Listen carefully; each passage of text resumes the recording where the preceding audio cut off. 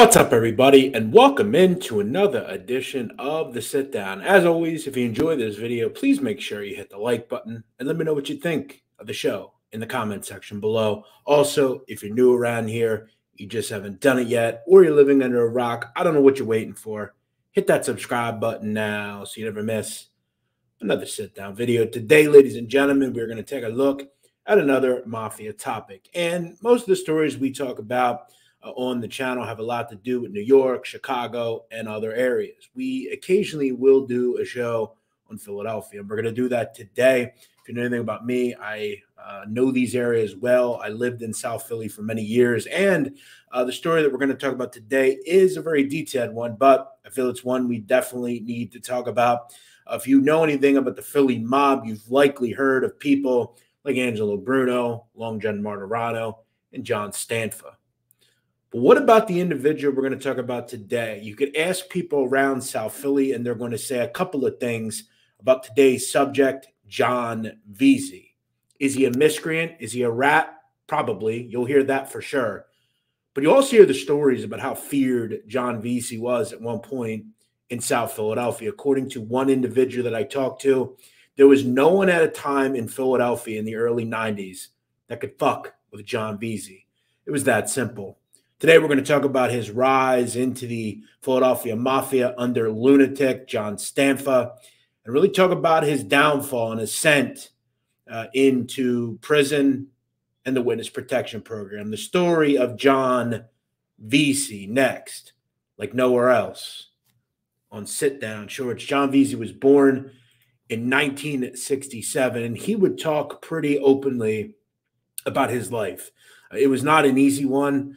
Uh, John grew up with uh, five brothers and sisters, and actually, his mother uh, would actually take in two children that belonged to one of her family members who passed away. Uh, so there were a lot of mouths to feed, and there was no father to speak of. John Veasey would talk uh, in his uh, adult life that he really didn't know much about his father. The one thing that he did know was when the day he was born, when he came home from the hospital, his father would accuse his mother of cheating with a member of her doctor team that birthed her son, and he would attempt to light their home on fire. From that day on, he uh, was told by his mother that she never saw her husband Walter again, and it was unclear uh, what exact nationality Walter Veasey was. Now, by all accounts, uh, his mother uh, was Italian, Sophia, but his father, as he would say, he didn't know whether he was Irish uh, Spanish, Native American, or Italian. There was questions that he may have been all of those different things. But one thing we can venture to believe, John Veasey was not full Italian. However, if you know anything about the neighborhoods that John Veasey frequented in South Philadelphia, they are all Italian. And the truth of the matter was he was half. Now, John Veasey and his brothers and sisters and mother would grow up in the area of Fifth and Christian, Fifth and Washington in Philadelphia. Now, uh, to this day, there are housing projects at that spot, and the city has attempted to rehabilitate that Fifth and Wash area. However, it has been difficult. Now, John Veasey would talk about in books and interviews that, quote, they had nothing. And in fact, at most points in his life, his mother would support her family through welfare and other programs. She would even venture to begin selling drugs at one point, which would at one point do her in. And he would talk about she was a great mother. She would do whatever she could for her kids. And, you know, this would allow her uh, to really be a good mother. However, uh, as John would say, it wasn't easy, but she was a good mother and she did all she could. Now, John Veasey would be particularly close with his brother, uh, Billy Veasey. Billy was a known uh, individual around South Philly as well. And the Veaseys were both very good with their hands, according to anyone that knew them throughout their adolescence and into their adulthood. John Veasey would talk that he would struggle in school. He never really cared much about the books. And he began hanging around with his uncle in his early teens that would introduce him not only to narcotics, but also the world of sex. And John Veasey would quickly get addicted to drugs. He would also discuss that by the age uh, of 15 years old, he had two children and dropped out of high school after uh, he was kicked out for assault. He was never allowed to return and ended up dropping out. Now, as I said, John Veasey was very known around South Philly. And whether you agree with his decisions and his behavior or not, in his heyday, according to what I know, he was a pretty ferocious fighter, and he packed a vicious punch. Uh, they would work out in gyms, he and his brother, and uh, were pretty feared, frankly. Uh, around this time, there was some good news that came to the family, but it came through bad news. Uh, John Veasey would learn that his grandfather, uh, his mother's father, would actually die, uh, and um, that would be a rough time for the family. The thing, though, that Sophia Veasey would now have would be steady work. He would leave her a business in the area of Ninth and Federal uh, in the Italian market. If you know anything about this area, it is a place stocked with bakeries, pizzerias, cheese spots, butcher shops, anything you want and need. The Italian market has you covered. And around this time at Ninth and Federal, this was just north of Geno's and Pat's Steaks. Uh, it is now a pizzeria, but at one point it was a bakery, and that is where uh, Dante Veasey had a uh, bakery. Now, Sophia Veasey would take it over, and they had an cre- incredible biscuit, as far as I know, incredible baked goods. But there was something else that Sophia Veasey was doing out of her bakery. She was selling methamphetamine. And in 1983, she would actually get jammed up by the federal government. She would be involved with an individual named John Jumbo DeSalvo. And according to a 1983 Citizens Crime Commission report, DeSalvo was a very close associate of Raymond Long John Martorano. Now, for anyone that is not aware who Long John was, Long John uh, for decades was one of the largest methamphetamine dealers in Philadelphia. He was providing P2P, which is the main agent to make methamphetamine to not only members of the Italian mafia, but associates as well, as well as individuals in black gangs, including the Junior Black Mafia, uh, the KNA group up in Northeast Philadelphia, and biker gangs. Raymond Long John Martorano was very uh, much an earner, and he was kicking up a lot of envelopes, not just Angelo Bruno, but the Nicky Scarfo as well. Sophia Veasey would be hemmed up in an indictment involving the methamphetamine, and this would be problematic for her. In fact, um, it would be really bad. Uh, she would ultimately hear some bad news as well uh, and would actually die in September of 1983 at the very young age of 41 years old. So, really, by his 16th birthday, John Veasey had already seen a lot. He was addicted to drugs, he had two children, he had no real prospects. Uh, and his mother, his only caretaker, had died. Um, he didn't have a father, he didn't have a mother, uh, and the mother that he had uh, was now gone. So for John Veasey, he would take to the streets to support his habit. By the age of 30 years old, he had been arrested almost 60 times. And really, he was doing typical addict behavior in Philadelphia. He was sticking people up, he was burglarizing homes. He was doing whatever he could to support his vicious narcotics habit. And many people, when they were approached by John Veasey, were very willing to give up what they had due to the reputation that he did have. By 1991, it would finally catch up to John John Veasey. He would head up to Frackville uh, for a two-year sentence after he was jammed up for robbery and assault charges. Now, this would come out in the trial that he would testify. And many years later, the prosecutor would ask John Veasey about his drug habit and what actually happened to that. He would claim that during his time at the State Correctional Institute at Frackville, he quit drugs cold turkey. And that from then on, he never touched a narcotic again. Now, whether we believe him or not, um, we have to take his word for it.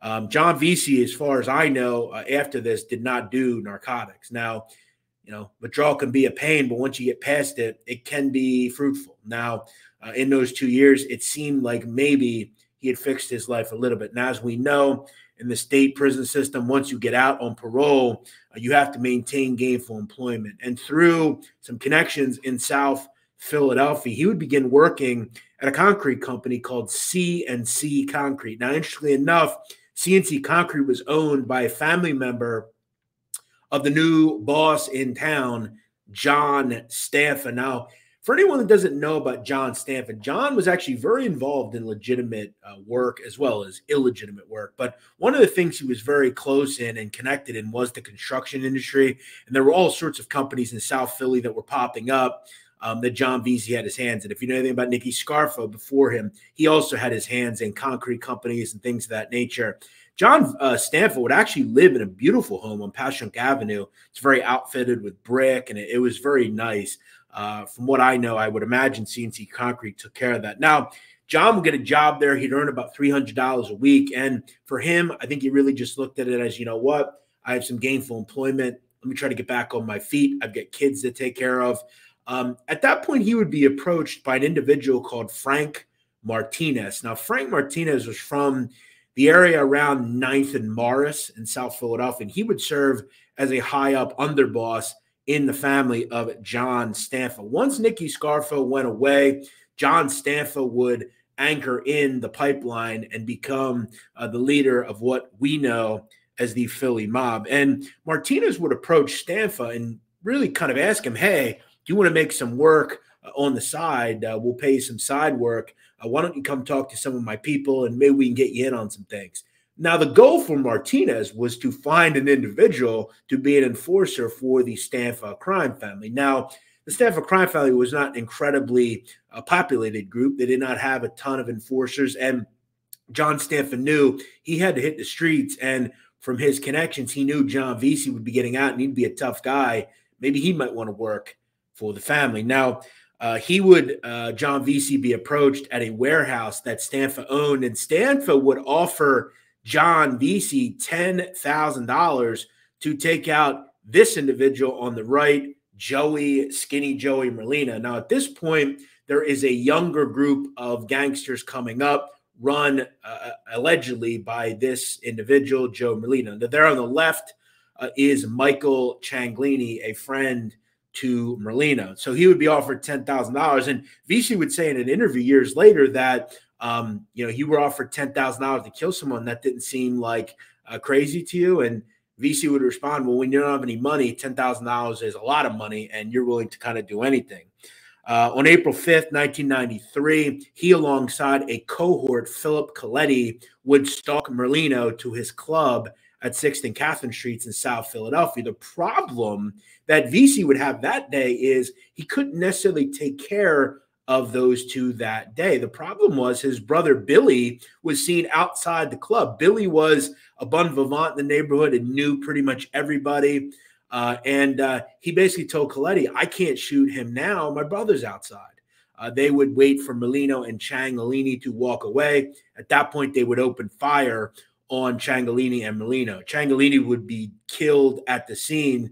Merlino would luck out and walk away with a bullet in the buttocks. Now, for uh, Stanfa, this wasn't good enough. He wanted Merlino dead. Uh, and they would continue to stalk and try to kill people in that organization for a long time. And this is what would set off in the early 90s a vicious war in South Philadelphia between two sides, one of which was loyal to John Stanfa, the other side, the bunch of young loyal to Joey Merlino. Now, um, Veasey would kind of do what he had to do, but he began complaining because he felt like look, I'm doing things for this family. I need to start getting paid. Stanfa wasn't paying him. So Veasey was beginning to be a little bit more incensed. And you know, John Veasey would talk about several interesting situations. He became a bookmaker, started loaning money out, really started getting involved in a lot of mob um, uh, things. And he would talk about an interesting story quickly about an individual that he had a beef with called Joe Fudge. Uh, his real name is Joseph DeSimone. D. Simone was connected to the Stanfa organization as well. And DeSimone was talking subversive about a John Veasey. John Veasey would go to a cohort and basically say, bring him to me. Uh, an individual named Johnny Gongs Casasanta would bring uh, Joe Fudge to John Veasey. And Veasey would talk very glowingly about the fact that he would use a power drill on Joe Fudge's head. According to Veasey, he would discuss that he saw pieces of hair flying out of uh, DeSimone's head. And these are the kind of tactics that John Veasey was known to use to A, either get money out of someone or to uh, harass someone that had talked subversive about him. Weirdly enough, Joseph DeSimone would go to prison and would actually resurface several years ago. Uh, he was involved with a situation up in New York involving the Genovese crime family. Really quick, kind of a side story. Joe Simone claimed that he, DeSimone claimed that he left the life after he got out of prison, that he was surviving of Social Security and other government benefits. But one thing Joe DeSimone, Joe Fudge also said he did was he put parties connected to each other and made money off of that. He would make a connection with an individual named Michael Giammarino. Giammarino had been connected up to the Genovese crime family, and they owned uh, certain pizzerias, one of which Gennaro's Tomato Pie in South Philadelphia. Giammarino wanted to get his tomato pies. He was associated with a pizzeria called Lombardi's, and he wanted to get that into Parx Casino. Now, Joe DeSimone had been affiliated with Parx Casino, and he made the connection. Ultimately, it would all fall apart because Parx Casino decided they, first of all, did not want to do business with the Genovese crime family, and they started to realize that Joe DeSimone, aka Joe Fudge, had more mob connections than maybe he let on. So back to Veasey.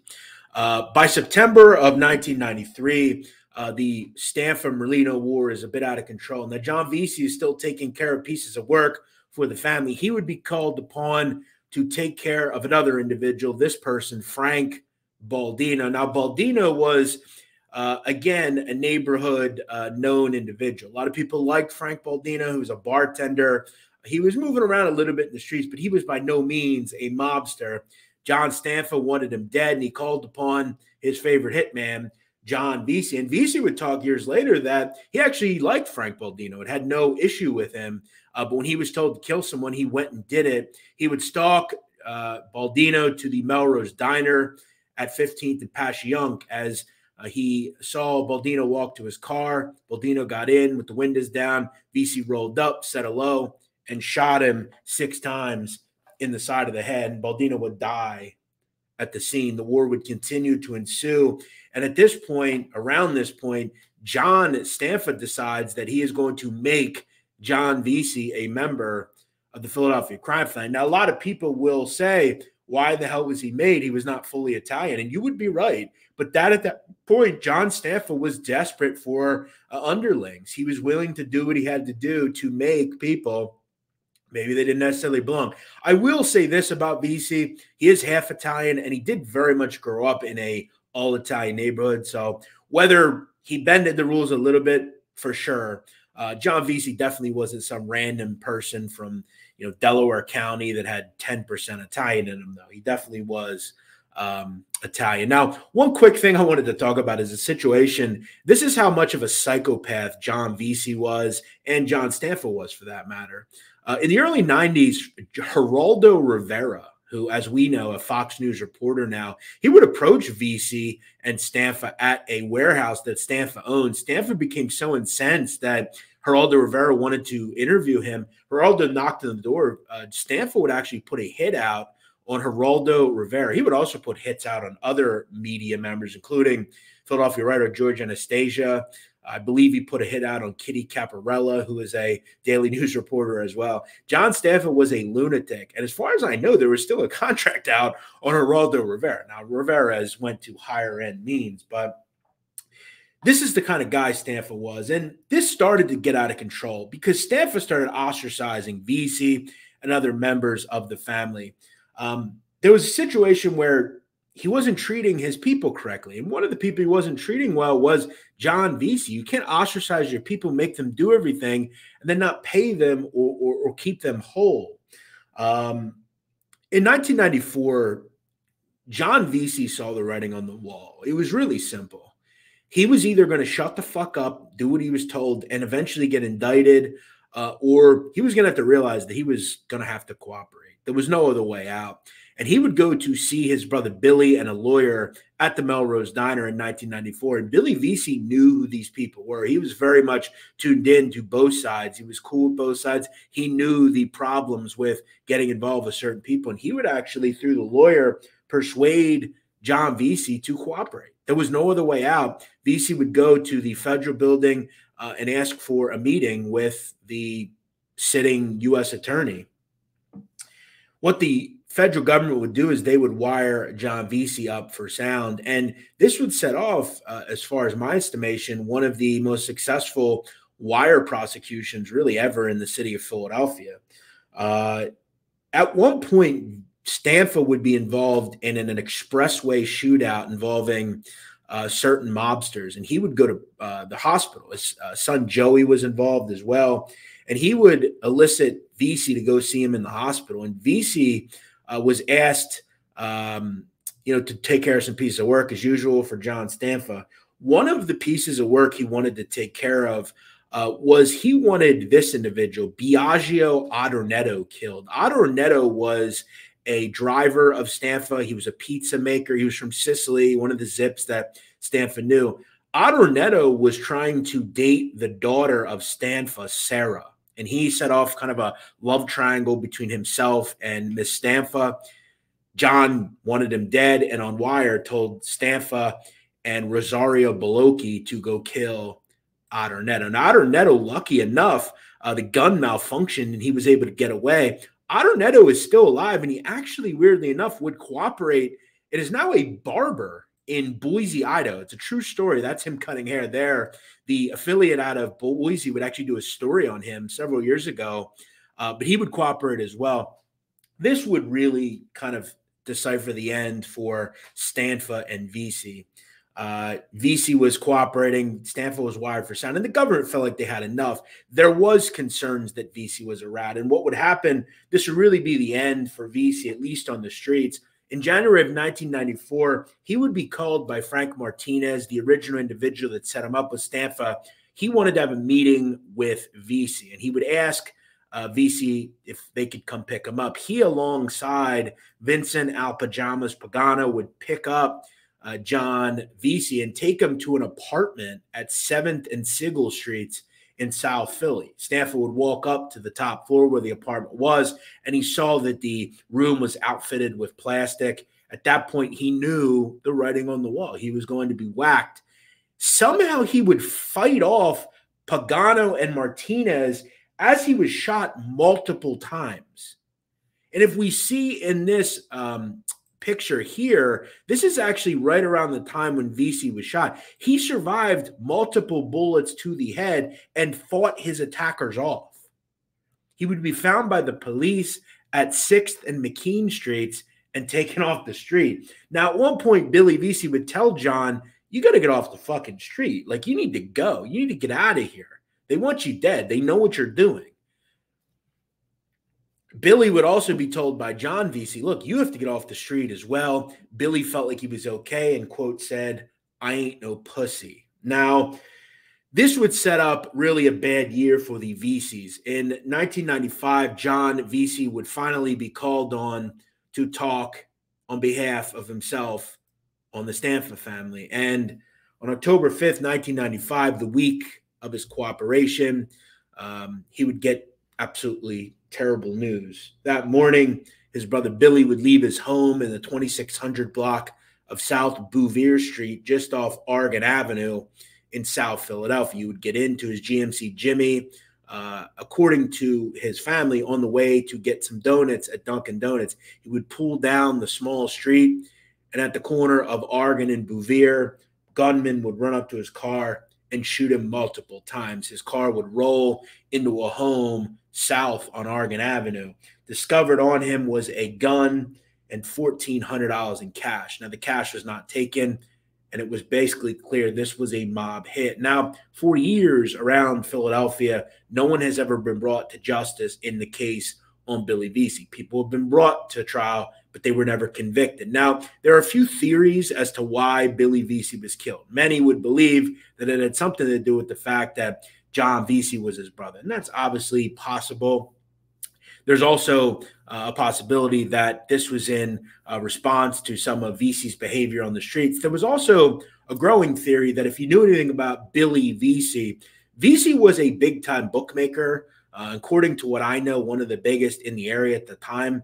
And it is possible that someone involved in that business may have killed him as well. But as I said, to this day, no one has ever been brought to trial in the case of Billy Veasey. Now, John would ultimately testify, though. He was not scared off if that was the goal. Veasey would, according to onlookers, be one of the most effective witnesses really ever. Uh, and in one um, back and forth between him and one of the uh, defense attorneys. The defense attorney would ask John Veasey about the glasses that he was wearing. Um, and he said, Did the government buy those glasses, John? And Veasey would respond, quote, Yeah, uh, my vision's not been all right ever since your client shot me in the head. Um, so he would take these wisecracks on. He was a very descriptive witness. Do I agree with what John Veasey did? Look, I'm not going to, I don't have a personal relationship with any of these people. Um, I guess, you know, he had to do what he had to do. But when it comes to being on the stand, he was a pretty effective witness. Now, ultimately, for John Stanfa, this would mean the end. He would get life imprisonment for his crimes. He is still alive uh, and is in his 80s as he sits in federal prison. Frank Martines would also get life in prison for his attempted hit on John Veasey and his other mafia crimes. Um, one also uh, individual, Vincent Al Pajamas Pagano, would also get a long prison sentence. He was hit with 80 years, and to this day, he is still alive in his 80s in federal prison. John Veasey would ultimately have to serve 10 years for his behavior on the streets, but he would be saved really from a life sentence by his cooperation. Now, I want to talk quickly about his behavior and whether we whatever we say about John Veasey, John Veasey's behavior after the fact has been quite disturbing. Uh, during his sentence in 10 years in prison, he was um, disciplined by the Bureau of Prisons over a hundred times for interactions while in prison, including an assault on another inmate in 2004 with a broom handle. After his release, he is now in the witness protection program somewhere in America. And some disturbing cases have come up where he has called the family members of members allegedly of the Philadelphia mob and leave vicious voicemails. Uh, he would also be seen outside different businesses that Philly mob associates allegedly run. He has goaded certain people into believing that he is not absoluted from his crimes, and he definitely wants redemption for who he thinks killed his brother Veasey. Is Veasey rehabilitated? I don't think he is. And I think it's been made clear that over the last decade or so, he sure as hell isn't. He can talk all the time as he wants about his seeing God and now believing in God and that he's married and he's left his Philly roots. But what would explain his recent trips to Philadelphia and his behavior after the fact? We'll ask the federal government is that how a federal witness and a federal person in the program should be behaving? I guess we'll have to wonder. Sorry today for the long video, but I wanted to be descriptive and tell you the story of John Veasey. To put a bow in it, John Veasey is around and he's living somewhere in America. We'll have to see what happens. One thing I think we know about John Veasey, he doesn't let bygones be bygones. We'll have to wonder when he turns up next. As always, thank you for watching. I appreciate you being here. We'll see you next time. Make sure you hit this like and subscribe button you never miss